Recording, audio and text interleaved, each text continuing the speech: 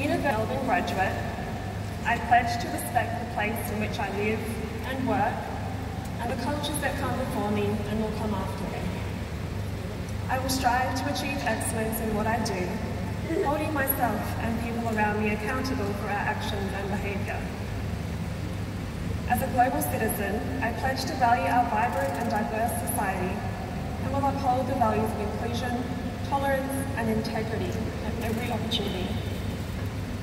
Pledge to use my education to build and enrich my community and make a positive difference for current and future generations.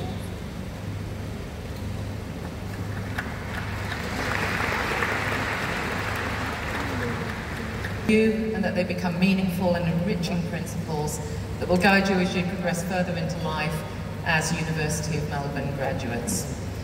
We're all very proud of you. Graduates, please join me in thanking family and friends and members of the faculty present here today for all of their support during your academic studies.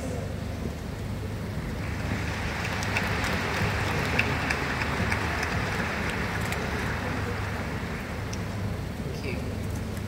This concludes the proceedings of the graduation ceremony.